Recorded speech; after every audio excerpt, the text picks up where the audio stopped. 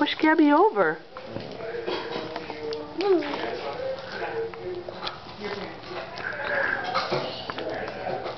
That's a nice snuggle, but let's not push her over.